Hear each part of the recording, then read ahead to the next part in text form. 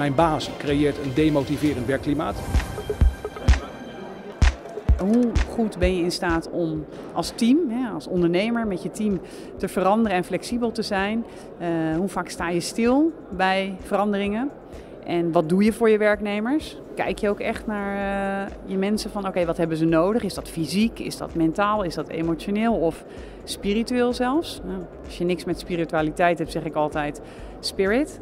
Wat drijft iemand nou? Wat maakt nou dat iemand elke dag hopelijk lachend naar zijn werk gaat. Kijk of u meer kunt bewegen uit het oogpunt van juist efficiënt werken, productiviteit en creativiteit.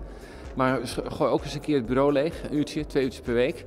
Uh, dan komen de netwerken in het brein, die worden actief, die ook een bijdrage leveren aan nieuwe ideeën, creativiteit. Dus twee kanten aan. We hebben een hele hoog opgeleide beroepsbevolking. Hele eigenwijze mensen in veel bedrijven. En die eigenwijsheid en die hoge opleiding, die kennis en ook die creativiteit vooral, om die echt aan te boren, daar is goed leiderschap voor nodig. En ik denk dat daar nog heel veel te winnen valt. 68% van de Nederlanders zegt: Mijn baas creëert een demotiverend werkklimaat. Daarmee doen we het eigenlijk ten opzichte van de rest van Europa heel slecht. En als die baas iets meer zou leren over leiderschap, hoe die gewoon eenvoudig meer uit zijn mensen kan halen, eigenlijk potentieel wat er is echt kan gebruiken, dat zou Nederland vooruit helpen. De verhouding is, eh, als het gaat om werkgevers en werknemers, eigenlijk vaak een beetje scheef. Hè? Een soort van machtsverhouding, een baas en een ondergeschikte. Maar eigenlijk is het veel slimmer om als ondernemer te denken in een soort van gelijkwaardige arbeidsrelaties.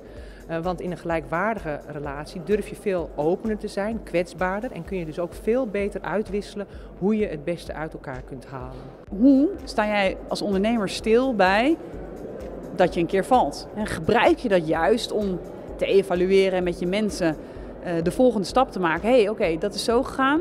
Nou, dat was niet helemaal goed. Dat is zo en zo of daardoor gekomen. En vanaf waar starten we dan nu weer opnieuw? Leren is de kern van ondernemerschap, want leren is innoveren en dat hebben we nodig. Je echt verplaatsen, empathisch zijn naar je mensen toe en eigenlijk ook het liefst een beetje van hun houden.